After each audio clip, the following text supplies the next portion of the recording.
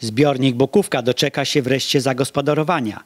Ścieżka pieszo-rekreacyjno-edukacyjna powstanie na zbiorniku Bokówka w gminie Lubawka. Bukówka jest e, sfinalizowana, jeżeli chodzi o pieniądze. Na razie jest to połówka tej kwoty, ale y, jest bardzo, bardzo, bardzo duża szansa, granicząca prawie że ze 100%, że dostaniemy całą kwotę. Natomiast musimy poczekać, to y, wymaga jeszcze odrobinę cierpliwości, natomiast bardzo mocno tutaj nas wspiera pani marszałek Iwona Krawczyk i tu e, wiem, że trzyma ręka na pulsie i będziemy i dostaniemy tą całą kwotę, e, którą, na którą e, złożyliśmy projekt i, i, i udało się w końcu zrealizować coś, co przez 36 lat było niemożliwe. Ja bardzo dziękuję wszystkim, którzy mi w tym pomogli. Jest mnóstwo osób, które się w to zaangażowało. Pracownicy naprawdę e, bardzo e, wytężali swoją wiedzę i swoje umiejętności, żeby korelować wszystkie podmioty, które, e, wszystkich właścicieli, które są, którzy są na Bukówce, żeby no, udostępnili nam e, możliwość zainwestowania. Przypomnę, że tam praktycznie nie ma ani jednego grama ziemi e, z gminy Lubawka, a inwestowanie na takich własnościach musi być za zgodą właścicieli.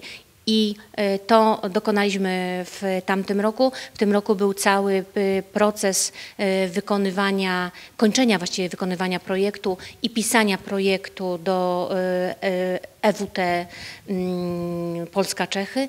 No i w grudniu był komitet monitorujący, tam pani marszałek bardzo mocno nas wspierała i mamy, mamy już połowę i zapowiedź, że będzie to całe 100%. Ta połowa to jaka to jest suma i co tam będzie wykonane? to y, połowę już to jest 600 tysięcy euro, to prawie że 2,5 miliona złotych, przelicznik y, euro na złotówki.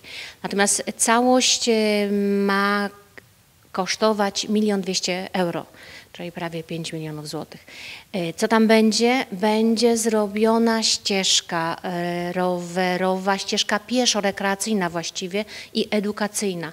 Będą zrobione toalety, przede wszystkim parkingi toalety i zagospodarowanie takie, żeby ta Bukówka była przyjazna dla nas, była przyjazna dla przyjeżdżających turystów i żeby też e, powodowała e, taką zmianę patrzenia Bukówki, że to nie jest dzikie, e, dzika woda, tylko ucywilizowana woda i można tam spokojnie przyjechać w sobotę, w niedzielę, a dla nas mieszkańców gminy Lubawka nawet codziennie przespacerować się, odpocząć, a w sezonie letnim nawet skorzystać z, z wody, bo woda nie będzie podgrzewana, ale mam nadzieję, że wiem, że nasi mieszkańcy lubią e, kąpać się i chętnie skorzystają z tego e, kąpieliska w nad Bukówką.